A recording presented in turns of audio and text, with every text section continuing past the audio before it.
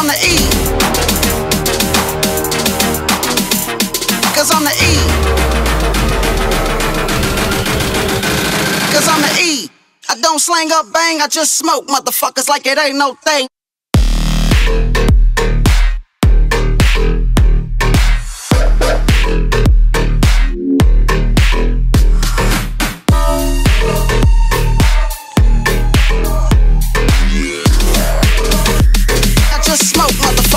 Ain't no thing.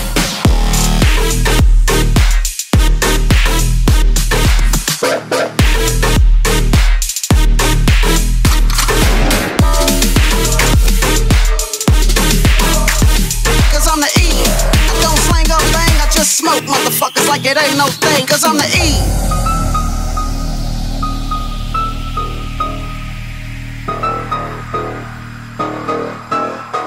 Cause I'm the E.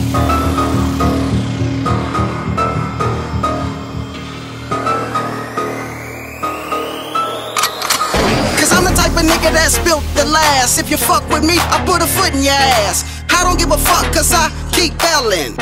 Yo, what the fuck are they yelling? I'm the type of nigga that's built to last. If you fuck with me, I put a foot in your ass. I don't give a fuck cause I keep belling. Yo, what the fuck are they yelling?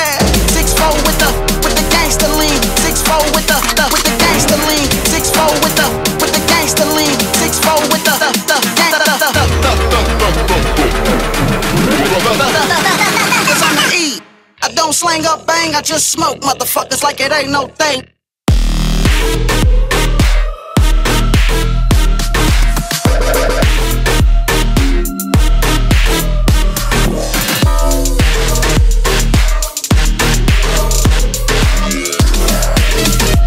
I just smoke motherfuckers like it ain't no thing. With the six four gangster lean, the six four with the, the with the gangster lean, cause six four with the with the gangster lean, six four with the with the, with the gangster lean. Six four with the six four gangster lean, the six four with the the with the gangster lean, six four with the the, the, the, I just smoke motherfuckers like it ain't no thing, cause I'm the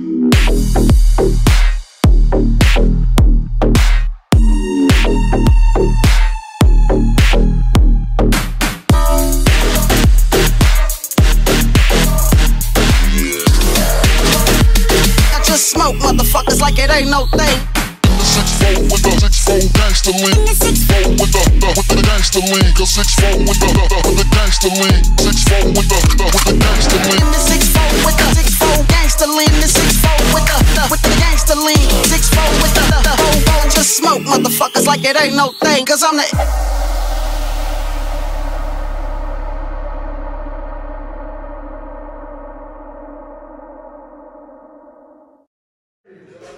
Going forward. 800. Sniffing some salt with you right now. Let's go ahead. Make some noise. Here we go. Money, 43 pounds. Yes, sir. Goes. We rip it out the crowd, Andy. Everything you got. Money, yeah. It in. Yeah,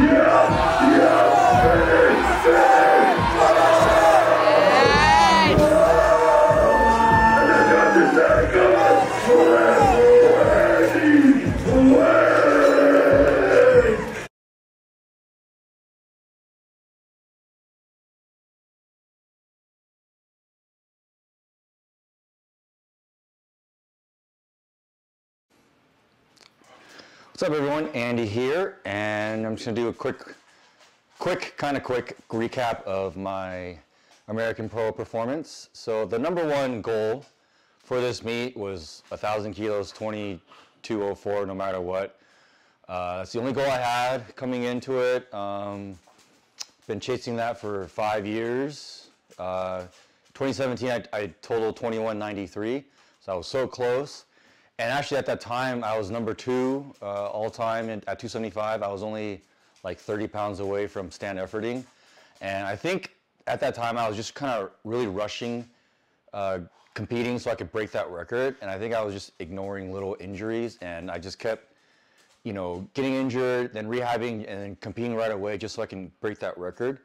But I think in, in, in hindsight, that was kind of like not the right thing to do. Um, so just injuries getting worse and just delaying actually having like a solid off season and taking my time and making progress. Um, I was just chasing that number. So that's just definitely something I would I would uh, advise uh, newer lifters or just any lifter to like not chase numbers um, versus taking the time to like have a proper off season, be healthy, then make progress in the off season, and then pick a meet. Um, whereas I was just rushing because I really wanted to hit that number, and it was right there.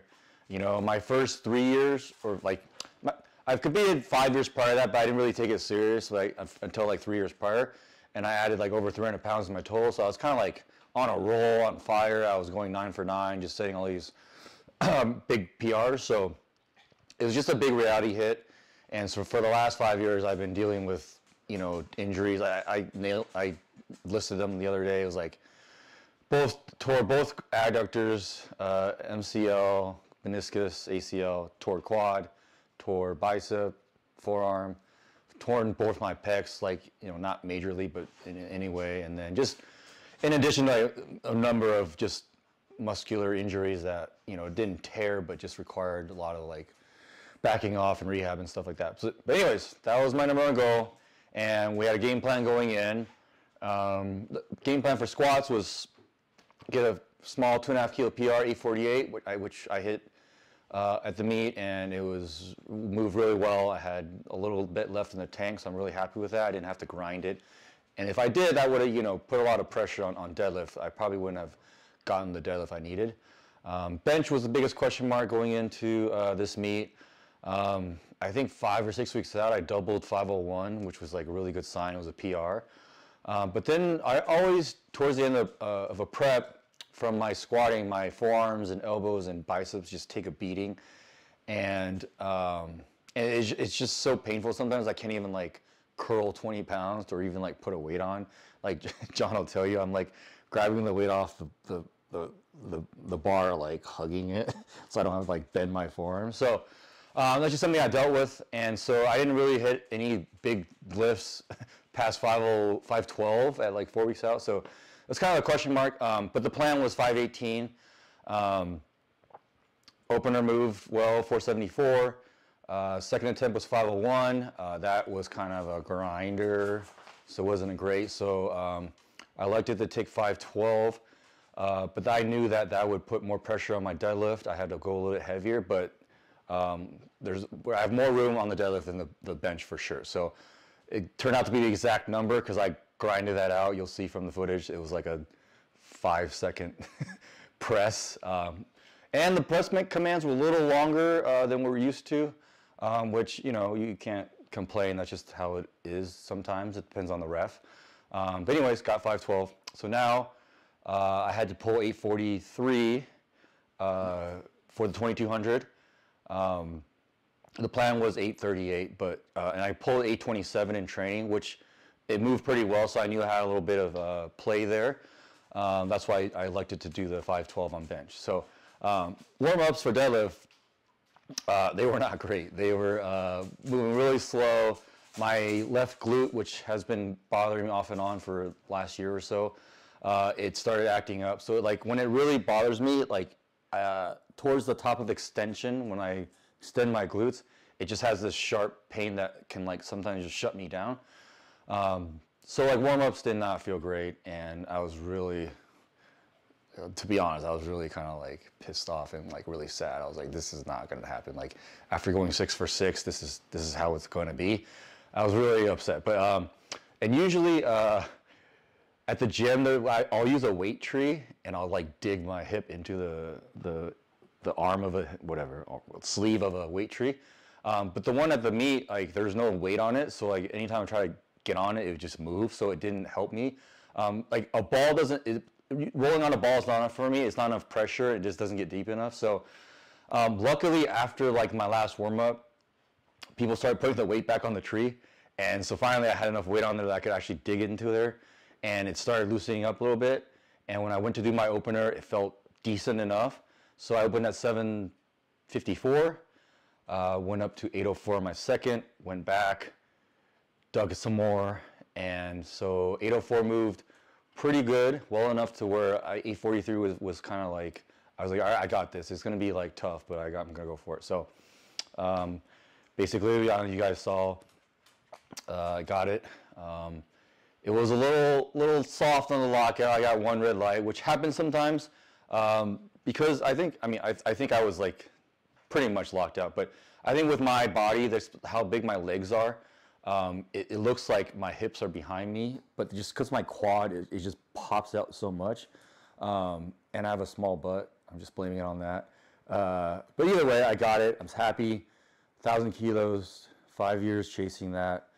Um, so of course, the next question is what's next. Um, we had planned, I had planned for to do the USPA Pro uh, eight weeks after. Um, but to me, it was kind of like a backup in case this one didn't go the way it, it did. Um, but since it did, uh, there's not much progress I can make in eight weeks. Um, yeah, I'm not hurt, but also I'm not gonna like be able to make a lot of progress. Um, you know, after deloading for a week and then just ramping back up. And there's not an immediate goal that I can make or hit. Um, so I'm, I'm probably not gonna. Well, I'm 99% sure I'm not gonna do that meet. I'm just gonna go there, help handle John and, and whoever might need to, and then kind of just go into off season. And then um, I think my next goal, the next person above me, uh, the total is 2237. So you know, it's it's only 40. Sorry, it's gonna be 40 pounds away to get to 43. Uh, 2243. So I think that's be my next goal. I'll just have to figure out like what what length of time I want my off season to be and how how much, um, and then what meat is in within you know the next six months, I guess. Um, but yeah, that's my next goal. Like I said, very happy with the meet. Um, as far as how the meet was ran, it was awesome. It's probably the best meet I've ever been a part of, and you know I, I think John agrees. We've been a part of the, some of the biggest meets in the world, and this one, from a production standpoint, is definitely the best. You know, they had all the the screens and the live uh, camera, and then the commentary was pretty good for the most part, except for uh, you know Garrett's delivery is sometimes a little exaggerated and harsh. Um, but I do agree with with his comments on some of the judging, and not everyone's going to agree with it, especially if he uses you as an example. But you shouldn't take it personal. It's just about the actual call, no matter who do, who makes the lift. Um, you know, it, it's just needed. We have to standardize and, and be better with calls and be more consistent. Um, the first day was a little rough on the on the end on the deadlifts, but on the second day, I think uh, for the most part it was you know uh, right on. And just how the meet was ran, uh, I think the only complaint I have from the meet standpoint is uh, the warm-up room. There's only two monoliths, and when you have you know big time squatters and there's 12, 14 people in your flight, and you warm up up to like 800 pounds, you need more time. And the, the flights are just moving fast, and there's only two monoliths. There wasn't enough reds, uh, so the people were really rushed in the warm ups. Um, so, but that's something that's very fixable, very doable. You just gotta, you know, get more plates or get one more mono, monolith. So, uh, I think that's a simple fix. But other than that, like I said, the meet was great, and I applaud uh, Micah and his team and Anna and A1 Digital, and I hope this continues next year, obviously, and just keeps growing. And I definitely think uh, uh, it's going to be a great meet, and, and I hope people come out to it more. Uh, it was- it was definitely the crowd was, you know, standing room only, so it was intimate. It wasn't huge, but it was intimate, so it felt really loud. And then um, I think the cool part, I, I'm I'm very uh, bougie about my song choice, so he let us choose our own songs for the third attempts. So that was cool, and um, and yeah. So that's pretty much it. That's my recap. Like I said, I'm very happy. Uh, it's been a long ride to this point. Uh, let's ride. let's ride. um, we're Russell Wilson fans, so uh, we're just let's ride. Uh, so yeah, thanks for uh, thanks for joining, and for anybody who you know left comments and, and all that stuff. It's very happy. Um, now we're getting ready to celebrate my birthday weekend. We're going to Vegas, and pretty much celebrate the rest- of the month. So um, I'm going to enjoy that, and then you know take a few weeks just to like not off, just train a little bit differently. I'm going to lose a little bit, some weight, uh, you know, as a matter from cutting out, you know, supplements and just eating less and doing more cardio and just getting into more um, bodybuilding type training. I'll lose probably six to eight pounds. I'll probably hover around 275 versus like 283, and just be you know lean and sexy for the summer. And um, so yeah, we'll, we'll update you next time on uh, our probably update you on John's prep and then me just being in the background. So don't suck.